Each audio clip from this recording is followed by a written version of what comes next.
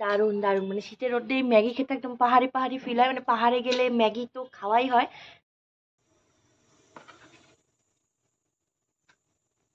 Good morning বন্ধুরা। কেমন আছো তোমরা? সবাই তো চলো আজকে ফুটো লাউটা দিয়ে তোমাদের দিনের শুরুটা শুরু করি।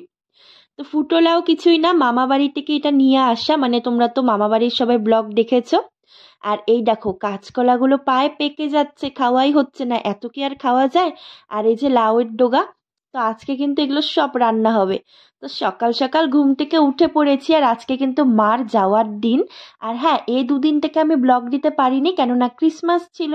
আর ভীষণ পরিমাণে তোমরা তো জানো, আমি কেক বানাই প্রচুর অর্ডার ছিল। তো সেই জন্য তো আমি খুব, এই অর্ডারের মধ্যেও কষ্ট করে ভিডিও করার চেষ্টা করেছি। ব্লগ আসবে খুব তাড়াতাড়ি তোমাদের জন্য। তো সকাল সকাল উঠে ম্যাগি করে নিচ্ছি। আজকে আর ডাল চালের ভাতও নয়, ডালিয়াও নয়, রুটিও নয়। আজকে সোজা ম্যাগি খাব, একদম শর্টকাট। কেননা ঝটপট করে রান্নাবাড়ি সারবো, মাও আজকে বাজার চলে যাবে। আর হলুদটা হয়তো একটু ম্যাগিতে বেশিই পড়ে গেছে এই জন্য এরকম। তো এই যে দেখো, ম্যাগি নিয়ে একদম বসে পড়েছি রোডে গরম গরম।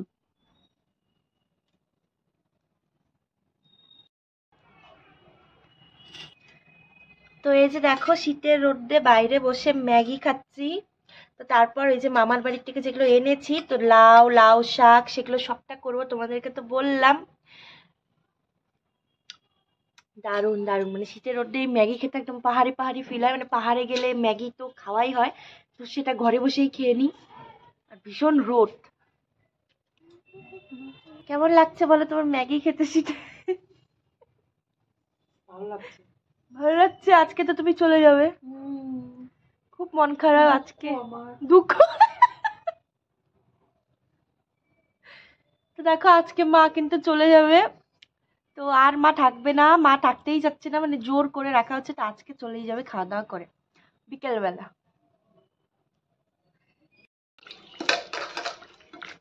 বাইরে বসে ম্যাগি খেতে দারুণ লাগছিল শীতের রোদে। কিন্তু খালি কি ম্যাগি খেলে গল্প করলে হবে? কাজ বাজও তো করতে হবে।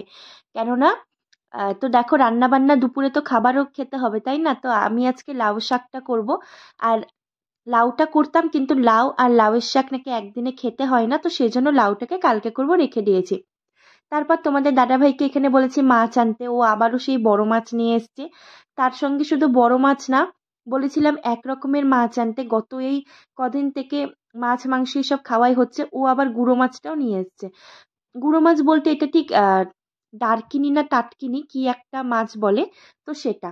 আর এখানটা এই যে বারো মিশালি শাক বলতে পালং শাক আর লাল শাক আছে, তবে পালং শাকের পরিমাণটাই বেশি। এটাও কিন্তু সে মামা বাড়ি থেকেই নিয়ে আসা। তো এই শাকটা করব আর মাছের এই ঝোল করব আর লাউয়ের শাক। তো চলো, রান্নাবান্নাটা করে নিই। আর এই ব্লগের তো তোমরা থাম্বেল দেখে বুঝতেই গেছো আমার শাশুড়ি মার তো শাশুড়ি মার অবস্থাটাও পরে তোমাদেরকে বলব। মানে সেই দিন তো ভীষণই খারাপ লাগছিল। তো দেখো মাছগুলোকে ভেজে নিচ্ছি, শাক হয়ে গিয়েছে। নিচে আছে এই যে মুগ ডালের বড়া দিয়ে লাউ শাক। তো খেতে জাস্ট দারুণ হয়েছিল, নিচে আছে ভাত। তো শাশুড়ি মার পড়ে গিয়েছিল, তো চলো আগে তোমাদেরকে আমি সবটা বলে নিই তোমরা আগের ভিডিওটা দেখতেই পারবে। দেখতে থাকো আর আমার এখানে অবস্থাটা দেখো, একদম মানে মানে গরমের, গরমও লাগছিল, আবার চুল মানে ভেজা চুল উপরে নিয়ে বেঁধে রেখেছি। আর আমাকে এখানে খাটানো হচ্ছে রান্নাঘরে, আর দুজনে কিন্তু বসে বসে দারুণ করে দেখো টিভি দেখছে। তো তারপরে এই যে ফাইনালি রান্নাবান্না আমার কমপ্লিট যেহেতু দুপুরবেলা তাড়াতাড়ি এখন খেয়ে নিই সবাই, তো তারপর সমস্ত রান্নাবাড়ি করে এখন আমি একটু ফ্রেশ হব। আর এই যে দেখো শাশুড়ি মায়ের অবস্থা মানে এটা দেখে মানে এখন যে আমি ভিডিওটা এডিট করছি, আমার এখনও খারাপ লাগছে। তো দেখো নাকের এখানে চুলেছে ঠোঁট ফুলেছে, তারপর গালে আর হাঁটুতে একটুখানি ব্যথা, কিন্তু চোখটা একটুর জন্য বেঁচে গেল। আমার মা আজকে চলে যাবে, তো সেই জন্য মাকে আটকাতে গিয়ে শাশুড়ি মার একদম মানে দৌড়ে পড়ে গেছে। তো তোমাদেরকে আমি সবটাই বলব বন্ধুরা, তোমরা একটুখানি ভিডিওটা দেখো। তো আমি এই যে বাজার গিয়েছিলাম, আমরা, আমি তোমাদের দাদাভাই কেউই ছিলাম না, যে ঘরে সবজি বাজারটা শেষ, তো সেই জন্য বাজারটা করে নিয়ে আসি। আর এখানটা নিয়ে এসছি এই মাছ। মানে এই মাছটা যে কেন আনলাম আমি এখন বুঝেছি মানে রাতের বেলা। তো বাজারপত্র সব কিছু চলো গুছিয়ে নিই, তারপর আমি তোমাদেরকে বলছি যে কি হয়েছিল, কেন হয়েছিল। আর কিছুই ভালো হচ্ছে মানে ভালো লাগছে না আর কি মানে সংসারে যদি অশান্তি হয়তো সব দিক দিয়েই হয়। বাড়ি আসলে মানে কাউকে উনি যেতে ফেটে দেবে না আর কি সহজে। তো মা যাচ্ছে তা পেছন পেছন আমার শাশুড়ি মাও দৌড়ে ছিল মানে খালি পায়ে আর কি। মানে না যাওয়ার জন্য। আর আমাদের এই কোয়ার্টারের রাস্তাটা তো তোমরা দেখেছ, অনেকটা লম্বা, অনেকটা বড়। এবড়ো খেবড়ো পাথর দিয়ে। তো ওই গেটের সামনে পড়ে গেছে। তো আমার মা পিছন ঘুরে তাকিয়ে রেখে পড়ে গেছে। তো মা ওখান থেকে দৌড়ে বাবাকে ডাকতে এসছে। তো বাবাকে ডেকেছে। তো বাবা আর মা তারপর জল দিয়ে মানে কোনো মতে বলে উঠিয়ে নিয়ে আসছে। মানে এটাই শুনলাম। তো মার এখন বয়সও হয়ে গিয়েছে। তো এখন কি দৌড়ানোর আর অভ্যাস তোমরাই বলো। তো কি আর মানে অভ্যাস এখনও বদলাতে পারিনি। মানে মানুষজন ভীষণ ভালোবাসে আর কি তো শাশুড়ি মা। এই আর কি মানে কি বলব খারাপও লাগে যে ভালোই ছিল সব, মা আজকে চলেও যেত আরামে। আর আমি মার জুতোটা লুকিয়ে গিয়েছিলাম। তো মা তারপর বাজার থেকে এসেটা বলল মানে আমাদেরও অবস্থা ভালো নয়। এখন আমি রাত্রের ভাত বসিয়েছি, তো সে ওষুধ আর মলম নিয়ে আসলাম। খাবে রাতের বেলা খাওয়ার আগে একটা গ্যাসের ট্যাবলেট, তারপর মলম দেবো, তারপর রাতের বেলা ভাত খাওয়ানোর পর ওষুধ। তো এখন ভাতটা কচলে মেখে টেখে দেখি খাওয়ানোর চেষ্টা করব। যদি খায় তো ভালো। আর জিম থেকে এসে তারপর সবজি বাজারের এত পরিমাণ ব্যাগ ছিল, ওগুলোকে গুছালাম মানে আর ভালো লাগে না। জিম করে এসে কিছু করতে মানে মনই চায় না। তো তাও মানে করতে তো হবেই।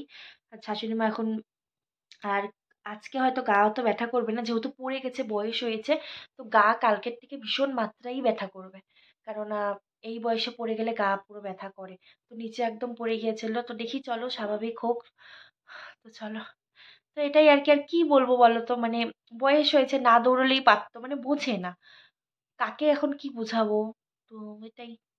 এক গ্যাসে দেখো রাতের জন্য এখানে ভাত করেছি মানে বসিয়েছি, আর এখানটা আলু সেদ্ধ দিয়েছি। তো সেটাই আজকে খাব রাতের বেলা। আর এখানে হচ্ছে দেখো ওই বেলাকার লাউ শাক, আর নিচে হচ্ছে মাছের তরকারি আছে। তো মাকে এখন ভাত খেতেও দেব। তো দেখি মা খায় কি না আর এখানে এই যে এখন এই মাছটা নিয়ে এসেছি, এটা আমি মানে কেন যে নিয়ে এসেছিলাম, আসলে তো জানতাম না যে মায়ের এই অবস্থা। তো আর রাতের বেলা খুব জল ঠান্ডাও হয়ে থাকে। আর সচরাচর এই মাছটা খুব একটা বেশি পাওয়া যায় না, এটা হলো কোকা ইলিশ। তো চলো সেটাকে এখন ভালো করে পরিষ্কার করে নিই। আর মাছগুলো বেশ কিন্তু টাটকাই ছিল। আর এই মাছগুলো যতই ভালো করে পরিষ্কার করি না কেন, পেটের দিকটা কিন্তু একটু একটু মানে মানে তোমাদের কেটে কেটে যাবেই। ভাজলেও তাই হয়। তো দেখো মাছগুলো বেশ টাটকা। তো চলো বন্ধুরা এটাকে করে নিই। আর এখানে যে আলু সেদ্ধর জন্য পেঁয়াজটাও কেটেই আমি নিয়েছি। কাজ তো এখন আবার এই রাতের বেলা মাছ কাটতে হবে। মানে দেখেই একটা কেমন লাগছে। সারাদিন এত কাজ বাজ করে। তো ভেবেছিলাম একবার আনব না কিন্তু এই মাছটা যেটা পাওয়া যায় না তো আনলাম। আর এসে দেখলাম শাশুড়ি মার এই অবস্থা। তো চলো বন্ধুরা মাছটাকে কেটে নিই। তারপর তোমাদের সাথে দেখা হচ্ছে। ভাতটা আমার প্রায় হয়ে গিয়েছে। আলুটাকে এখন মেখে নেব। আর মাছটাকে চলো কেটে নিই। আর এই তো দেখো, তো সবশেষে যে মা এখন নিজে হাতে খেতে পারবে, এটাই অনেক দেখেও ভালো লাগছে। তো আশা করি আস্তে আস্তে ভালো হয়ে যাবে। তোমরাও বলো, আর ভিডিওটা যদি ভালো লাগে তাহলে প্লিজ সাবস্ক্রাইব